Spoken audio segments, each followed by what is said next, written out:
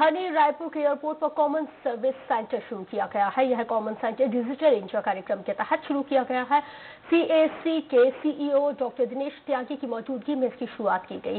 साथ में एयरपोर्ट के डायरेक्टर राकेश सहाय भी मौजूद थे।